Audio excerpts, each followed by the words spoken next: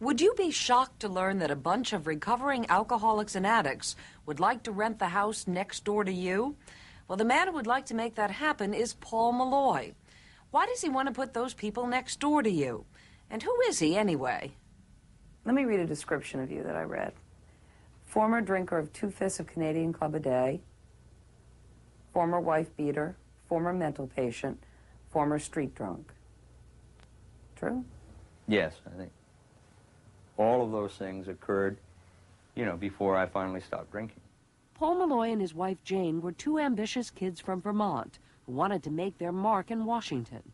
Molloy hit the halls of Congress by day and the bottle by day and night. He thought he was smart enough to become the world's first successful practicing alcoholic. I had sort of been the yuppie of my day, I suppose, in the, in the late 60s, in that I was Republican counsel of the Senate Commerce Committee gotten involved in creating Amtrak and a lot of federal election campaign act, a lot of important legislation. All the time you were drunk? Yeah, yeah. Molloy's wife divorced him, and he ended up on the street. Finally, in an effort to get help, he went into treatment and then checked into a halfway house, only to find out the house was about to shut down. He and the other residents, afraid they might relapse without the house, decided to rent it themselves. Then they did something unheard of. They decided to run it themselves. No staff, no paid counselors. It was called Oxford House. It was such a success that Molloy and his friends opened another house, and then another and another. Fifteen years later, there are more than 200 around the country, and over 6,000 people have lived in them. Molloy heads up the central office, but the homes themselves are run by the residents, all of them former drunks and addicts like these men in Bethlehem, Pennsylvania. What Oxford House gives them, they say, is time.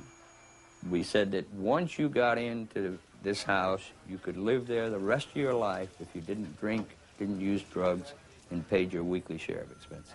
Those were the three key rules. Those were the three key rules. The average stay in each of the 200 Oxford houses is 15 months. While there, most of the residents go to almost daily support group meetings like Alcoholics Anonymous. And everyone must hold down a job to pay his share of the rent, utilities, and food. Since each house is self-supporting, everyone pitches in, which is something new for these men. I could see some people watching this thinking what you're learning are, are such simple, kind of basic. But for, for an addict and alcoholic, it's not so basic when, when your first priority was drinking and drugging. You got to pay your rent. You got to clean this. You got to do that. And you got to be considerate of other people. And I didn't pay my rent on time. I got mm-hmm. evicted from a lot of places.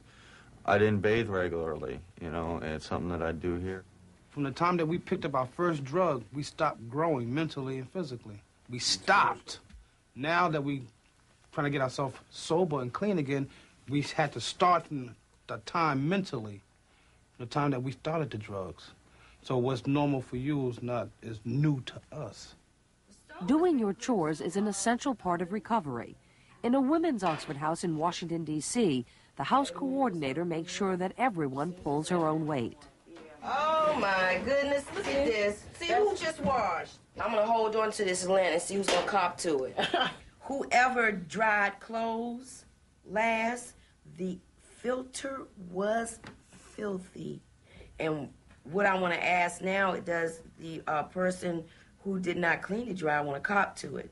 Next time, there will be a fine initiated of fifty dollars. So fifty dollar fine for leaving some lint in the dryer. Yes, our fines are fifty dollars, and I just got one.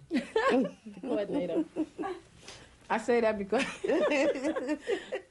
you're the one who's supposed to be making sure all the uh, chores are done, and you Yeah. got a fine. I got a fine. I was not responsible for taking out my trash. the coordinator is the most feared person in Oxford House. Why is that, that the most feared person? Because they can. They they're the one who's looking at your real behavior.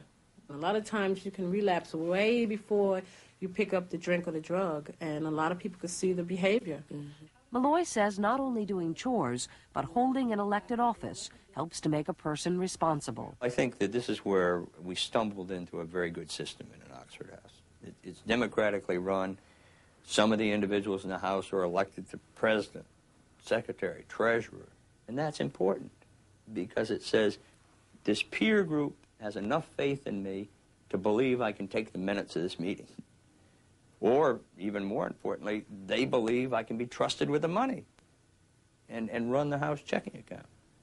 It's a message Molloy and his people carry around the country. My forte was writing forged checks, and um, there they voted me the treasurer comptroller of the house, and I said to them, do you know who I am? And they said, yes, we do. I said, wow, if these girls believe I can do it, that made me believe that I could do it, you know. So it helped a lot. Andrea has been clean for over two years, after several years on crack and 20 years on heroin.